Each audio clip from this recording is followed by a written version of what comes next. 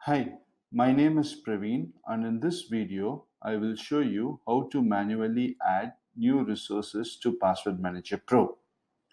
What I mean by a resource is any IT asset present in your network, such as Windows and Linux machines, database servers, and network devices. Adding a resource basically involves adding that asset's info, adding the asset's associated accounts, and finally setting up an automatic password reset routine for the accounts. To begin with, make sure you are signed in to Password Manager Pro as an administrator, password administrator, or privilege administrator, since only they can add new resources. Navigate to Resources tab.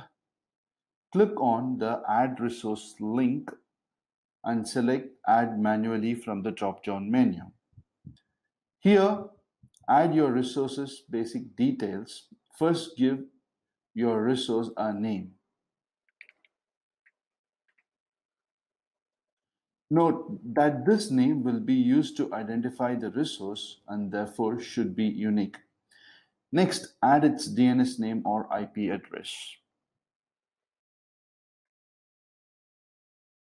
Password Manager Pro uses this information to connect with the resource for remote password reset, account discovery, and one-click login. Next, select the resource type from the drop-down list. Choosing the resource type for your resource is mandatory since Password Manager Pro manages the resource passwords based on its type. For example, all the local accounts of Windows Server will belong to the Windows resource type and all the domain-based accounts will belong to Windows domain resource type. Here, let me choose resource type as Windows. Fill out the other fields as required. These fields will be helpful while searching for the resource. Choose the required password policy from the drop-down menu. When Password Manager Pro randomly generates passwords for the accounts under this resource, they will be in compliance with the policy you choose here. Once you are done, click on Save and Proceed to continue to the next step. Here you can add the accounts under this specific Windows resource one by one. Let me add two accounts, admin and test with the password. The user account and password are mandatory. Once you have added all the accounts under this resource, click on Save. Now choose the resource you just created.